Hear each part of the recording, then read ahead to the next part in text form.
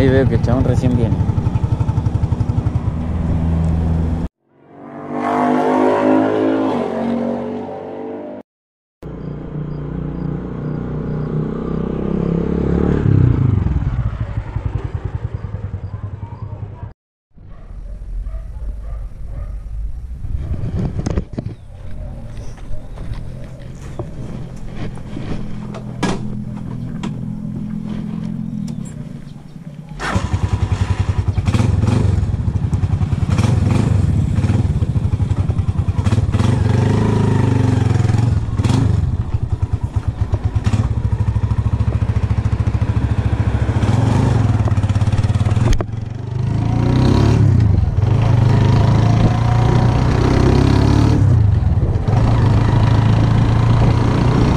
Buenas, ¿cómo están? Bueno, espero se escuche algo.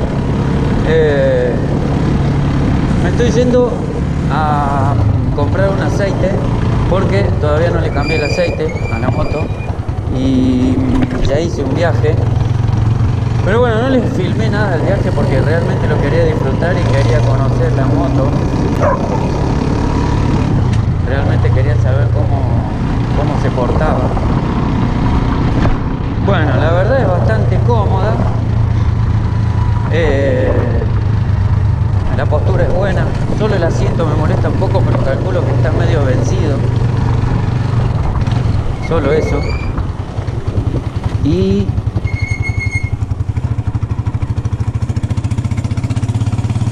eh, sí tuvo una falla por ahí cuando ando un rato largo y la llevo por ahí, no sé, a 70, 75 tuvo una fallita, se para, paré unos minutos, le di arranque y, siguió. Eh, yo ahora le cambié la bujía, no salí mucho a la ruta, tendría que ver si la falla perdura. Pero bueno, eh, espero que sea solo bujía. Ahora le vamos a cambiar el aceite, vamos a ver si eso también eh, cambia un poquito en lo que es vibración de motor y demás, porque tienen aceite medio viejo.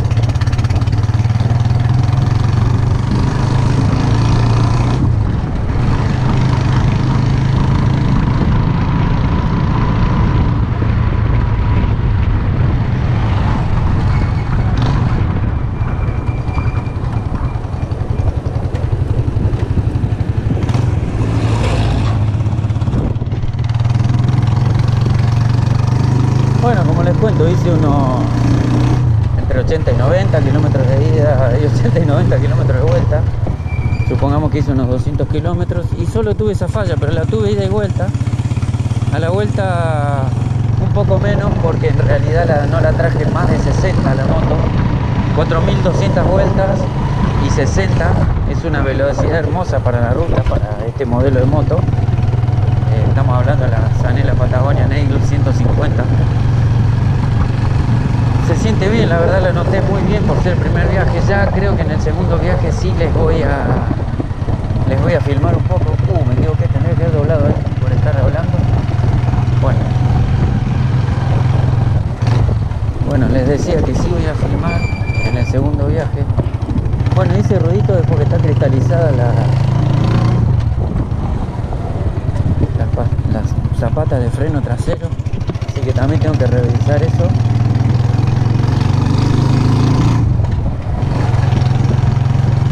Pero en líneas generales, la verdad, la moto anda bien, me gusta, está buena para la ruta, salvo el asiento que me molestó un poco. Después la postura es buena y hay que acostumbrarse. Eh, y bueno, ahora le cambié la bujía, vamos a ver si eso mejora. Y me estaría faltando, bueno, hoy le vamos a cambiar el aceite y después vamos a limpiar el carburador, porque calculo que también todo influye eso, yo no le toqué nada tal vez sea que se queda con poco caudal de nafta cuando uno le pide un poquito de más al acelerador. Otra cosa es que el carburador también debe estar medio gastado y eso también nos puede jugar un poquito en contra. Che, está el contramano. Oh, no sé, tengo un lío con las calles. Bueno, eso. eh, la moto está buena, compramos aceite, le cambiamos aceite y seguimos con el video.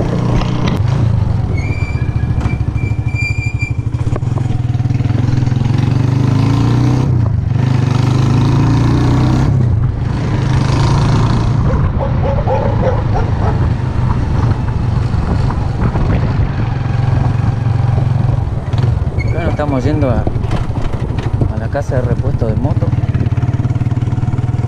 Es la única que hay acá en Villa Jardino. La verdad, el chabón atiende re bien. Hoy le voy a dejar bien acá en el estacionamiento de moto porque no quiero hacer cagada. Y ahí veo que el chabón recién viene.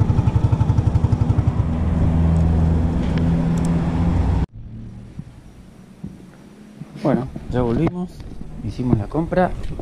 Miren, yo eh, no tengo sponsor de este tipo ni nada, pero yo compré el aceite Castrol Act Evo Essential 2050 para cuatro tiempos. Es MA, que es muy importante. Es muy importante que tenga estas letras. Eh, porque estos aceites para este tipo de motos eh, más que nada son aceites para lo que es caja de velocidades eh, y embrague. Si bien lubrica toda la parte baja del motor y eh, luego la bomba lo tira a la parte de válvulas que están ahí arriba, es muy importante para lo que es caja de velocidades y embrague. A ver, hay un montón de videos de cómo cambiar aceite eh, en varias motos. En este caso, en esta moto tenemos el tapón. Oh, no se puede ver bien. Le voy a mostrar bien, bien a dónde está el tapón. Ahí ven. Bueno, ese es el tapón que vamos a sacar. La moto está caliente. Eh, tiene que darse una vueltita. El motor tiene que estar caliente. Va a bajar todo el aceite por ahí. Y de este lado hay esa tuerca, ese tornillo grande. Eh, ahí adentro está el filtro de aceite, eso hay que sacarlo. Eh, por lo general es una rejillita, una metálica, hay que limpiarlo. Y luego vamos a poner el aceite por acá. No voy a mostrarles todo el proceso porque es sacar un tornillo, cae el aceite, sacar el filtro, limpiar la rejillita, volvés a poner, abrís acá y le echas el litro. Eh, hay un montón de videos de la cantidad de, más, yo no tengo el manual de esta moto, sí estuve leyendo. Eh, por lo general dicen que lleva un litro 200, otros dicen que lleva 980, otros dicen que lleva 860 eh, centímetros cúbicos. Mm, yo he hablado con usuarios dueños de esta moto. Uh, me quemé, está caliente. Eh, todos le ponen la botella de un litro, pum, y ahí se terminó.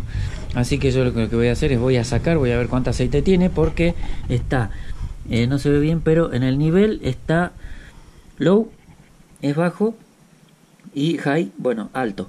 No está justo hasta ahí, está a un poquito menos, así que voy a ver qué cantidad de aceite es.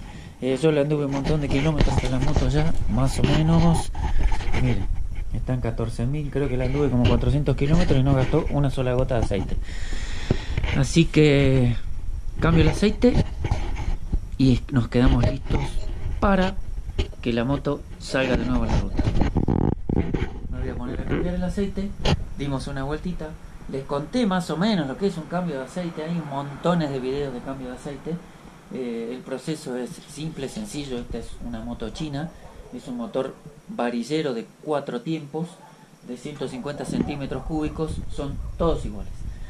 Así que los voy a ver en el próximo video, el próximo video va a ser ya viajando, porque ya tuve la experiencia de moverme, qué le pasa, qué hace, cómo es la moto. Eh, cambié la bujía, voy a cambiar el aceite, el resto está perfecta, así que el próximo video nos vemos en viaje, en ruta y lo más importante, nunca se olviden de suscribirse, activar la campanita, compartir los videos y dejarme un buen comentario. Eh, los canales se alimentan de toda la actividad que ustedes les regalan. Así que, gente querida, nos vemos en el próximo video.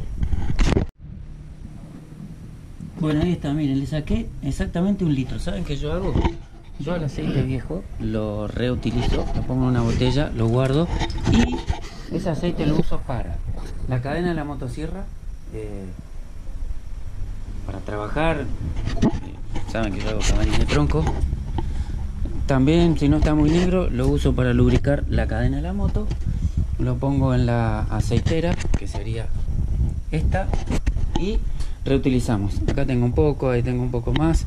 Y si no, ¿saben para qué lo uso también? Para proteger madera cuando tengo que hacer eh, algún, eh, algún alambrado, algo de eso. Se ponen los postes de madera, se pueden pintar tablas. Eh, ven como aquel sillón que está allá, que está hecho con pallets. Bueno, primero con la madera virgen lo pintamos con aceite, después le ponemos algún impregnante o barniz y no contaminamos, reutilizamos lo mismo las botellas de plástico y colaboramos un poquito con el medio ambiente. Gente, los espero en el próximo video.